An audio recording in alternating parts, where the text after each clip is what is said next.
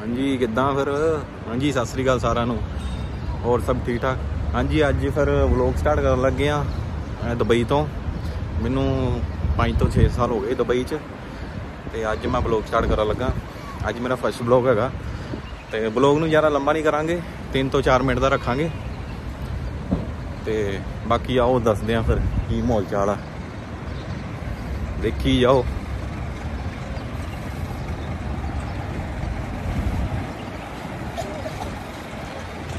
ਤੇ ਕੱਲ ਦੇ ਵਲੌਗ 'ਚ ਫਿਰ ਤੁਹਾਨੂੰ ਵਿਖਾਵਾਂਗੇ ਦੁਬਈ ਮਰੀਨਾ ਤੇ ਬੁਰਜ ਖਲੀਫਾ।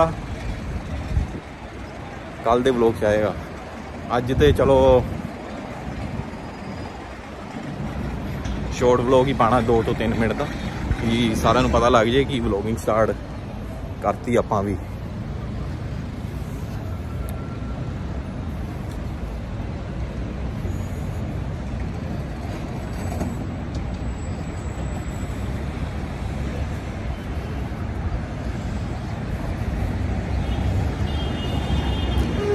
ਤੇ ਇੱਕ ਗੱਲ ਮੈਂ ਤੁਹਾਨੂੰ ਹੋਰ ਦੱਸ ਦਿਆਂ ਇੱਥੇ ਕੋਈ ਵੰਸ਼ੂ ਵੰਸ਼ੂ ਨਹੀਂਗਾ ਇੱਥੇ ਆਪ ਹੀ ਖੁਦ ਸਭ ਕੁਝ ਕਰਨਾ ਪੈਂਦਾ ਕੋਈ ਵੰਸ਼ੂ ਵੰਸ਼ੂ ਨਹੀਂ ਆਂਦਾ।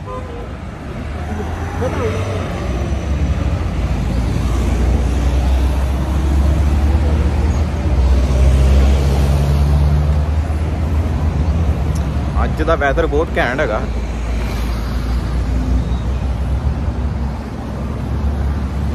ਆ ਲੋਕੇਸ਼ਨ ਚੈੱਕ ਕਰੋ ਫਿਰ। ਜਿੱਦਾਂ ਫਿਰ ਪੈਂਦੀ ਧੱਕ।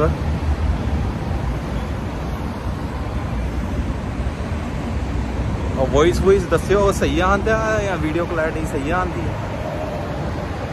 ਸਹੀ ਤੇ ਫਿਰ ਦੱਸ ਦਿਓ ਸਹੀ ਹੈ ਜਾਂ ਨਹੀਂ ਆ ਕਿੱਦਾਂ ਵੀ ਕਮੈਂਟ ਕਰਕੇ ਦੱਸ ਦਿਓ ਆ